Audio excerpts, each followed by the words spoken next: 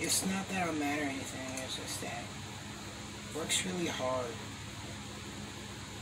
Know, living in Niles, Illinois is difficult too.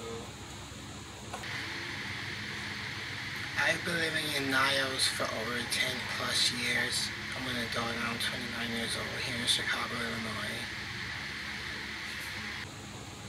My position here in Chicago, Illinois.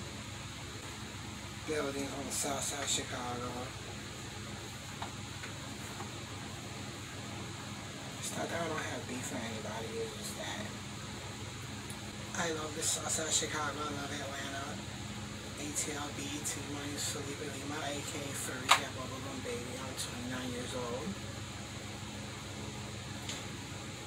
It's not that I don't have beef with anybody or the black boys in the streets. Yeah. Yeah. I listen to a lot of Rihanna. I listen to a lot of Nicki Minaj.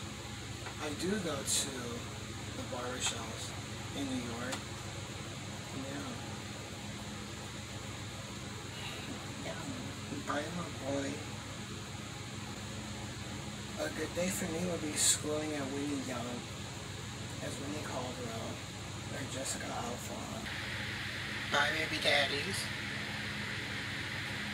Yeah. My boy.